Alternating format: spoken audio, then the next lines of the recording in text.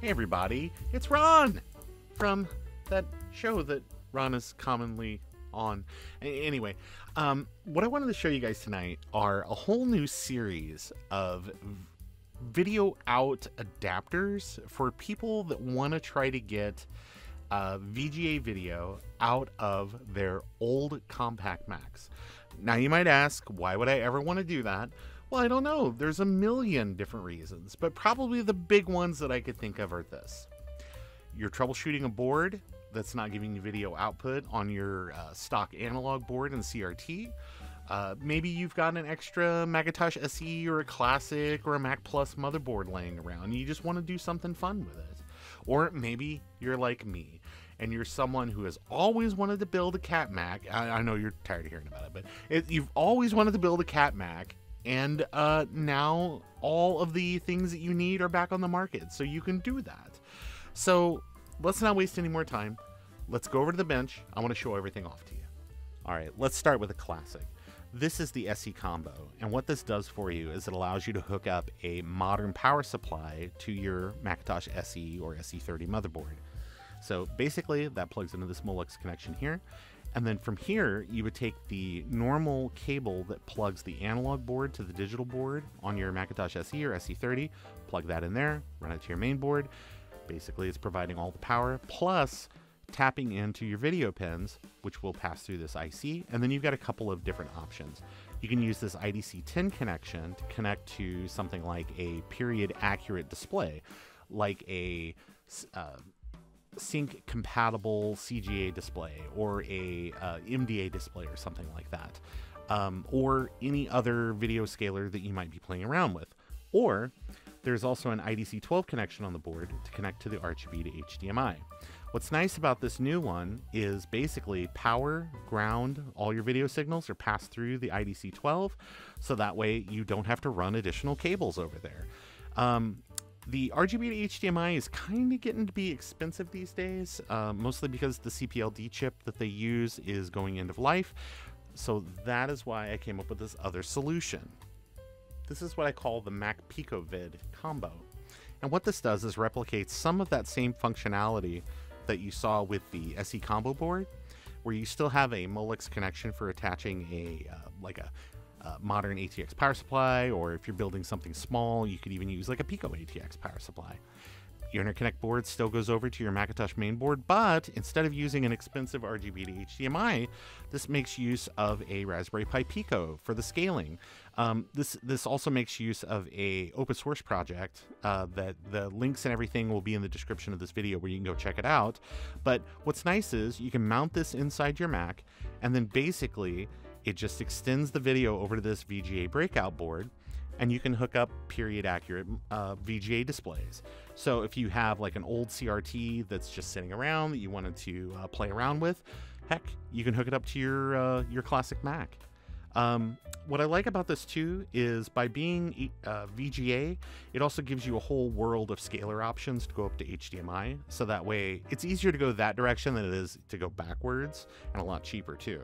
So this is an option for people uh, that are maybe trying to build a cat mac or have an easy way to have something on their bench for troubleshooting.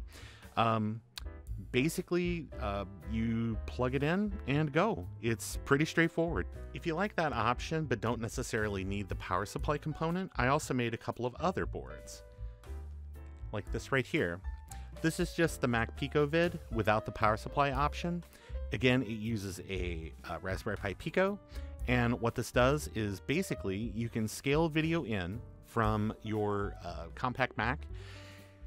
You can either use uh, some of my other ecosystem of adapters uh, to plug into this, or you can just tap directly into wherever you want to pull the signal off of the analog board or the uh, digital board. Uh, basically, you're just pulling off horizontal sync, video sync, or I'm sorry, horizontal sync, vertical sync, the actual video signal, and then ground. But with this little screw terminals, it makes it easy. Um, the VGA connection is just right here. Um, there's also a couple of models that Gutbomb has out on his uh, printables page that uh, lets you plug this directly out the back of a Macintosh SE, which is kind of neat. Um, you do need to provide power to it, so you can either power it directly through the Pico, or there is an auxiliary header over here that uh, has a diode in place, so just in case something goes wrong, uh, you don't blow anything up.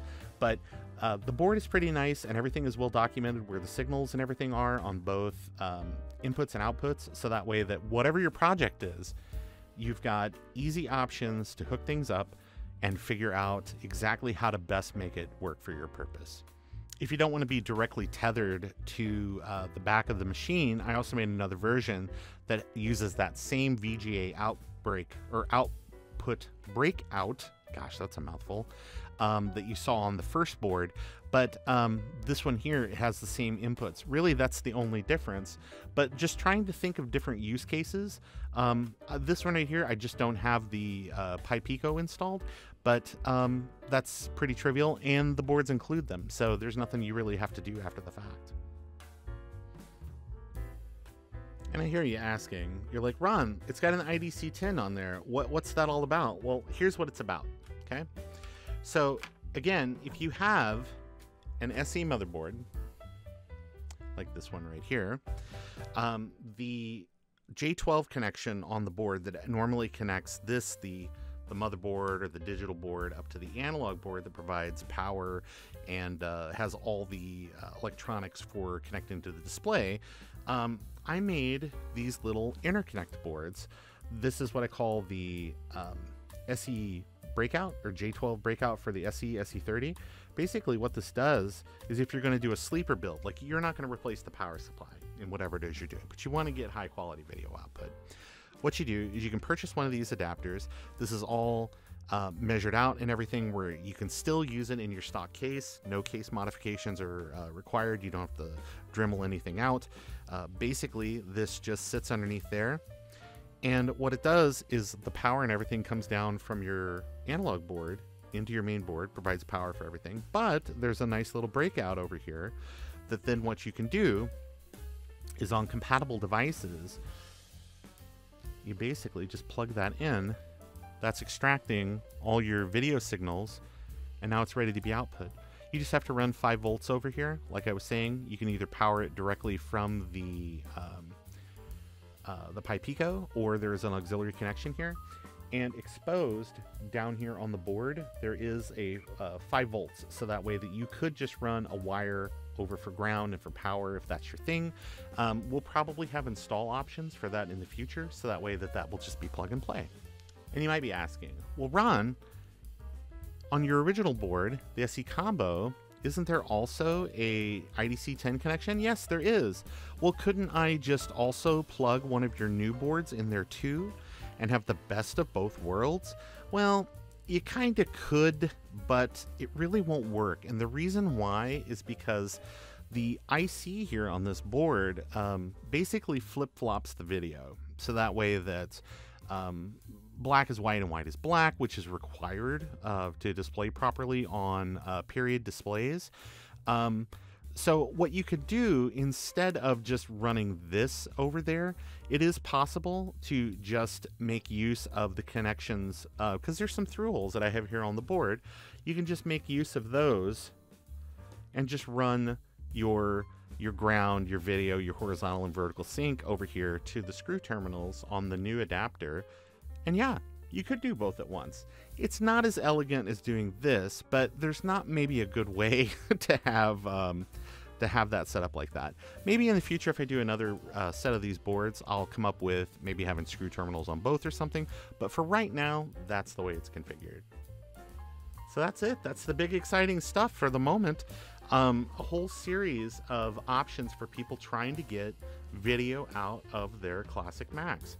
Um, those compact Macs are a lot of fun to play around with. I love those machines, and the more of them, as many of them as we can keep out of landfills, probably the better.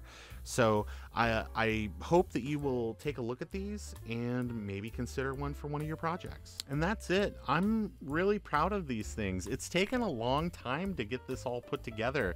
Um, I, I, really appreciate the help of everyone who uh, stepped up and asked, you know, answered all my silly questions and stuff. So, and a lot of thanks to Gut Bomb and a lot of thanks to Joe and to um, uh, like uh, just all the people that are behind all these cool open source projects that make stuff. Um, like uh, Guru Three, that that's it's his uh, video scaler project, and DOS Fox and all those great guys. So, anyway, that is it for the moment. I want to thank everybody for spending just a minute with me this evening to look at some of these new things. And as I always say, Apple II forever.